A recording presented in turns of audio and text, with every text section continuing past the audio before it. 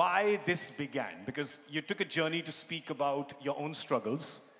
That was, that was very brave that you did that, very unusual that you did that. Talk us through, through that period when you were making that decision to speak so openly about this. Um, good evening, everyone. Um, you know, you used two words. You said brave and unusual.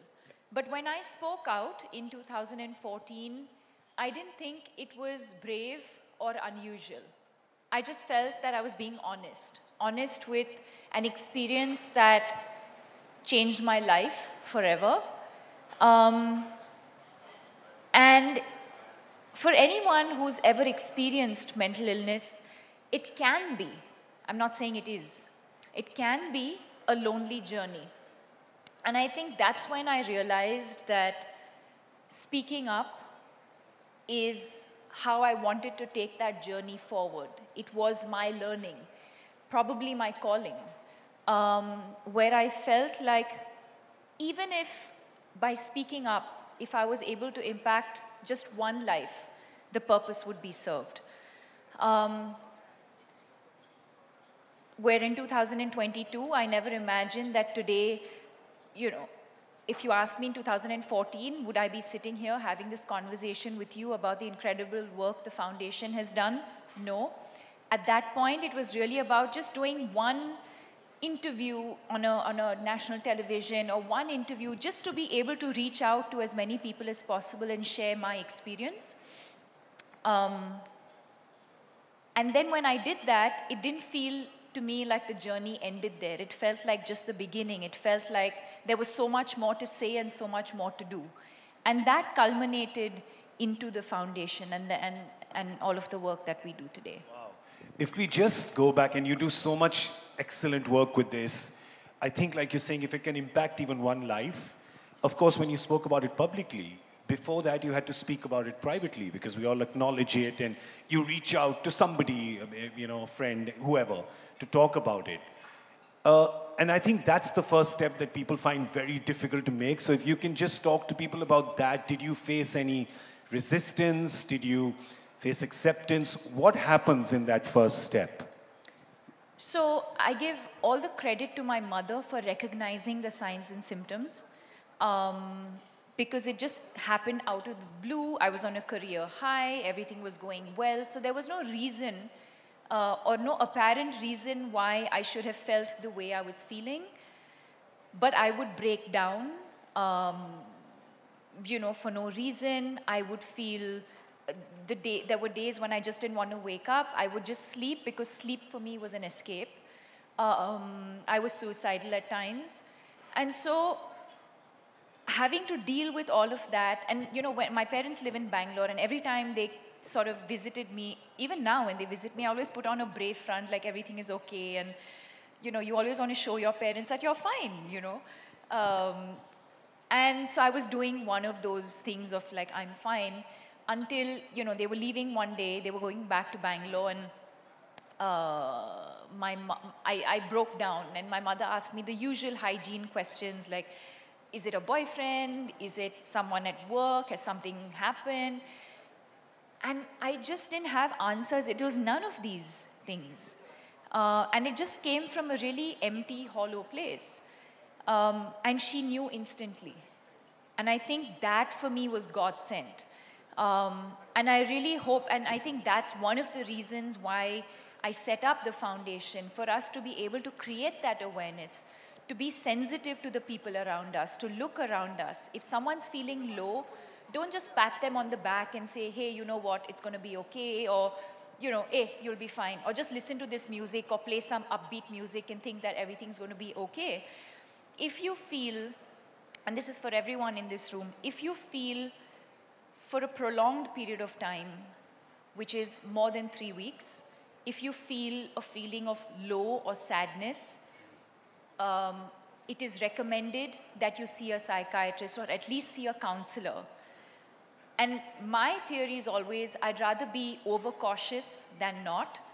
Um, you know, it's the same way when you have, you know, when you have a stomach bug or, you know, you go and see a general practitioner. you can also go and see a general practitioner. That's one of the things that we do. We're capacity building for our country because we do not have enough mental health professionals to serve the 1.3, 1.4 billion people. So one of the things that we do is, is capacity building by educating general practitioners. So I'd say don't ignore the signs and symptoms. Don't ignore when someone's telling you they're feeling low or not feeling okay. Um, don't sort of brush it off by saying it's just a one-off.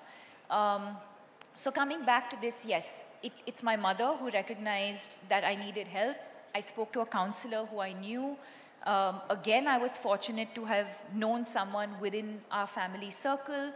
Um, and from my voice, she could tell that I was that I needed uh, professional help.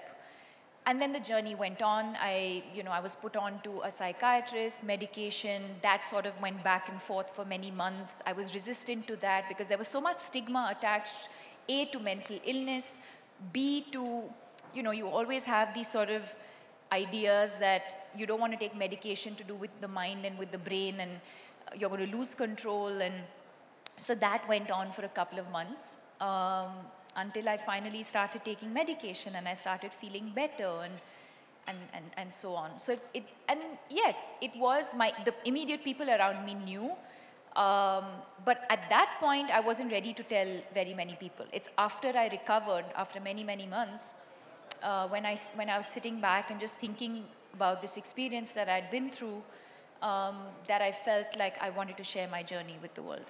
And through this entire period, I think we can give a round of applause for that, please, everyone.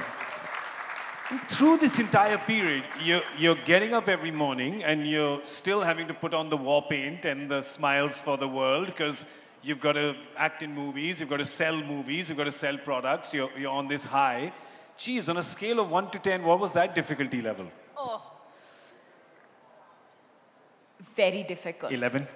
Very difficult. Yeah, I mean, I can't even put a number to it. To just Yeah. have to wake up every morning and to breathe, you know, to eat, to to just do the basics was a struggle. So so you can imagine what having to put myself out there, be at events, um, engage with people, perform. Um, obviously, took took a lot.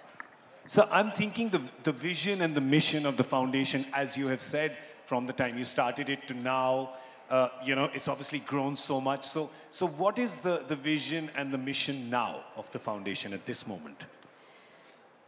It is to give hope, you know, because like I said earlier, it can be a, it, it can be a lonely journey. And we're here to say you are not alone. We're here to say we're in this together. When I say we, I mean us, those who experience mental illness, our caregivers, because I believe, we believe that they're an equally important part of this journey, and society and community at large. Um, and so, giving hope to every person experiencing stress, anxiety, and depression, um, and to let you know that we're not alone. And it, it stemmed from the one line, which was, you know, when I put my mind to it, I said, I don't want even one life to be lost because of mental illness. Wow, beautiful. What's the. Tell me, there's, there obviously must be a lot of fulfilling moments that happen when you hear people's stories about the foundation has helped them.